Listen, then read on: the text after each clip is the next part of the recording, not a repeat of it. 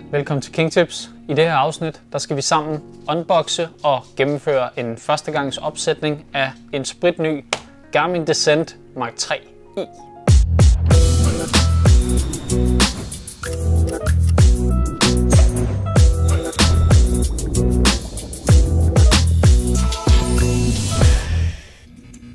Så den her video her, den henvender sig altså både til førstegangskøberen, som øh, måske ikke har købt den her endnu og overvejer øh, at købe den, og godt kunne tænke sig at se, hvad der egentlig følger med i æsken på sådan en her, når man, øh, når man pakker den ud.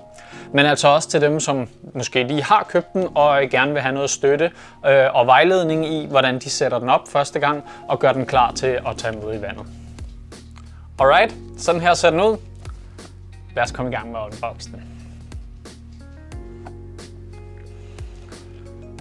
Det første, der viser sig, når man får åbnet kassen her, det er selvfølgelig selve computeren. Hvis vi lige tager den ud en gang, stiller kassen til siden her, så inden i, der hvor selve computeren ligger, der er altså sådan en lille æske her, som man kan åbne. Og inde i den, der ligger altså vores extension strap. Den er til at bruge sammen med sin enten tykke våddragt eller sammen med sin tørdragt. Systemet på de her er lavet ret simpelt. Man tager altså bare den nederste strop på selve computeren her, og så klikker man den lige løs sådan her.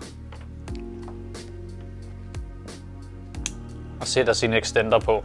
Og så er den altså klar til at blive brugt med en tyk våddragt eller en tørdragt. Når man er færdig med sit dyk, så skifter man den bare tilbage igen. Og lige så nemt er det altså at skifte til en masse andre forskellige typer af de her quick fit bands her, som øh, Garmin altså har masser af forskellige modeller af. Så hvis vi lige lægger den til side en gang, så kan vi se hernede i æsken. Der følger ikke så mange med ting med i sådan en her, og det er altså fordi, der skal ikke så meget til for at få sådan en computer her op at køre. Så den eneste sådan rigtige ting, der ellers er med her i æsken, det er altså vores opladerkabel. Opladerkablet er USB-C, og der følger altså ikke nogen adapter med, så øh, det skal man selv have. Man kan også lade den op, hvis man har en øh, laptop, som har et USB-C outlet.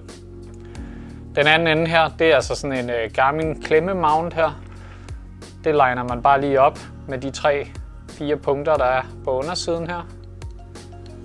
Så den klemmer rundt om her og så er den altså klar til at blive lavet op. For at starte computeren op, så holder man den øverste knap på venstre side inden, indtil den viser den her blå trekant. Når vi skal til at i gang med at sætte vores computer op her, så er det altså en god idé at øh, kende øh, til, hvordan man navigerer rundt i den her computer her. Garmin Descent computerne har fem knapper. Der sidder tre styks på venstre side og to styks på højre side. For lige at give sådan et, et, et simpelt overview over, hvordan de her knapper virker, i langt de fleste scenarier, så er det sådan, at hvis man tager de to nederste knapper på venstre side, så er det altså op og ned knapperne. Hvis man kigger på den øverste knap på venstre side, så er det lys, tænd og sluk. Øverste knap på højre side, det er altså start eller enter knappen. Og nederste knap på højre side er altså øh, back eller tilbage knap. Nu viste den øh, lige sådan en lille øh, intro-animation her, og hvis man har haft en anden form for øh, Garmin Unit før en af de tidligere Descent computer, så vil man ret hurtigt kunne se her, hvor stor en upgrade der faktisk er sket med den skærm her. Efter det, så går den ind i her, hvor man kan vælge, hvilket sprog man gerne vil sætte sin computer op med. Min egen er sat op på engelsk, men der er altså mulighed for at sætte den op på dansk her, Øh, så det tænker jeg, at vi gør med den her computer her. Så det er altså, som sagt, de her to knapper her, der bliver brugt til op og ned. Så man bruger dem her til at navigere med, indtil man finder dansk. Øverste knap på højre side for at vælge.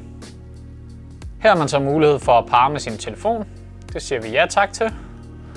Og så kommer der en QR-kode frem.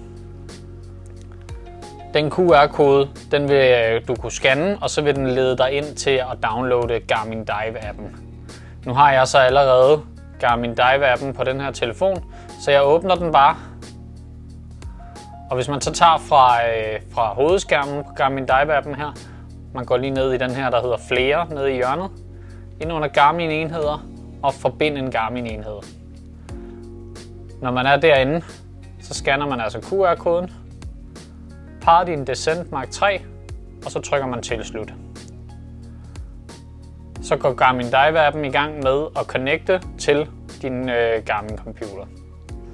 De to apps, jeg vil anbefale at gå ind og hente, det er altså øh, Garmin Connect og Garmin Dive, og de er altså tilgængelige både på Android og på iPhone. Så trykker vi Dan par, og så skriver telefonen udfør opsætning af din Descent Mark 3. Må sende modtage notifikationer fra din iPhone? Det må den gerne. Så spørger øh, telefonen her, om det her skal være din primære wearable. Det vil sige, hvis du har mere end en Garmin-enhed, så skal man fortælle, hvad for en af dem man ligesom går med til dagligt, således at den ved, hvad, hvor den ligesom skal trække alle de her sundheds- og livsstilsaktiviteter fra. Og det, så det er altså noget, den spørger om, fordi jeg har flere Garmin-enheder registreret. Nu er det her ikke den, jeg kommer til at gå med til hverdag, så jeg siger pænt nej tak til den her.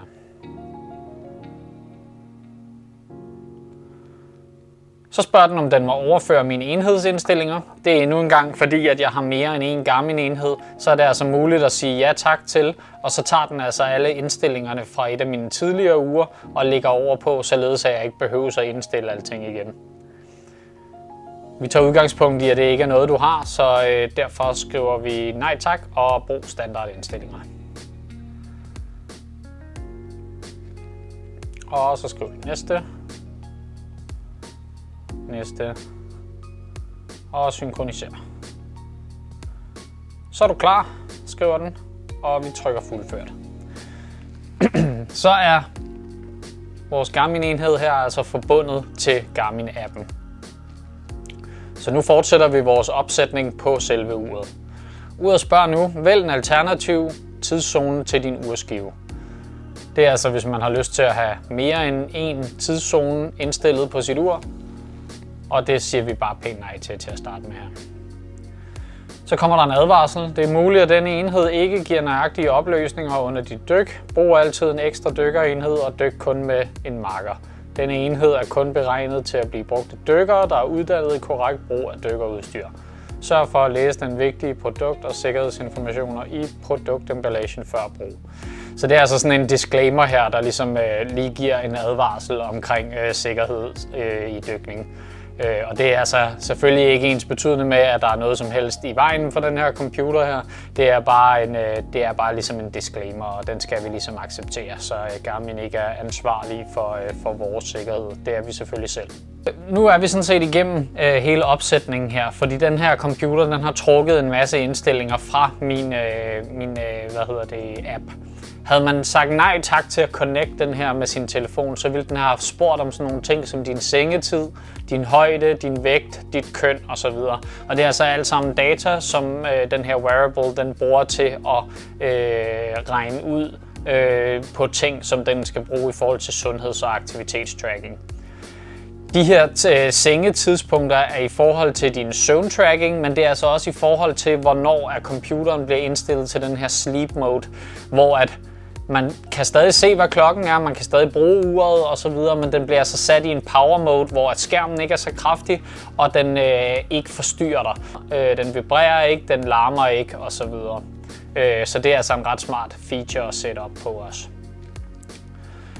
Der er utrolig mange ting, man kan indstille på den her computer herfra fra det her tidspunkt. Så øh, du kan ændre på den her urskive, den viser på fronten. Man kan ændre på alle de her former for øh, widgets, som viser sig, når man bladrer op og ned her. Øh, har man brug for at komme tilbage ud til startskærmen, så trykker vi på back-knappen nede i højre hjørne. Hvis vi bruger enter-knappen op i øh, højre hjørne her, så øh, vil vi komme ind under sine aktiviteter, hvor man har mulighed for at vælge øh, hvad for en form for træning eller aktivitet man skal dyrke, herunder blandt andet dykning. Og hvis man har brug for at komme ind og justere i sine indstillinger, så er det midterste knap i venstre side, den holder vi lige inde, indtil man lander ind i sine settings. Herfra har man mulighed for at justere på alverdens former for muligheder her. Der er rigtig meget, der kan customizes i de her computer her. Og vi kommer ikke til at gå igennem det hele i den her video. Jeg kommer til at supplere med to videoer mere, hvor vi kommer til at kigge på henholdsvis opsætning af dive mode, og også opsætning og brug af de her øh, livsstils- og øh, sundhedstrackingsfunktioner. Øh, Så det eneste, jeg lige vil tilføje i den her video her, det er en øh, smart lille feature, som jeg selv øh, opdagede efter lidt tid, og som jeg har bemærket, at der ikke er ret mange, der selv har fundet ud af, og det er altså en, øh, en lille ting, man bliver rigtig glad for i længden. Så noget af det første, jeg sætter op, når jeg har øh, fået en ny Garmin-enhed, det er at gå ind i system. Så bladrer jeg ned til den, der hedder genvejstaster. Her der kan man så selvfølgelig selv vælge, hvad for en man vil bruge, men jeg bruger typisk den, der hedder Start plus Down. Det vil sige, det er den her knap og den her knap her. Hvis man holder de to knapper inde samtidig, så vil den lige nu øh, slå touchskærmen til og fra. Og det er i mine øjne ikke noget, jeg har sådan synderlig meget brug for, så jeg ændrer den her til den indstilling, som hedder lås-oplås enhed. Når den setting er blevet indtastet, og man er et hvilket som helst sted på uret her, så kan man altså holde de her to inde for at låse enheden. Og når enheden er låst, så er der ikke nogen knapper, der virker. Det vil sige, hvis man går rundt med den her, og man bomber ind i noget, og de her knapper bliver trykket på, eller de sætter sig i trøjen, eller et eller andet i den stil, så havner man altså ikke ud i, at den her lige pludselig hopper ind og starter aktiviteter, og øh, øh, åbner for alle mulige programmer, og gør alle mulige ting, og ændrer på indstillinger osv. Den er altså låst. Og det er den helt indtil man har brug for den. Så klikker man lige de her to ind en gang, og så er den altså klar til brug. Og så kan man også styre touchskærmen osv. Hvis I kunne tænke jer at lære noget mere omkring, hvordan man bruger dive-moden på den, eller hvordan man bruger de her øh, sundheds- og livsstilsfunktioner, den har, så er der altså to King Tips mere på vej. På det tidspunkt, hvor du ser den her, der kan det være, at de allerede er ude. Så tjek op for dem, og så ses vi under vandet.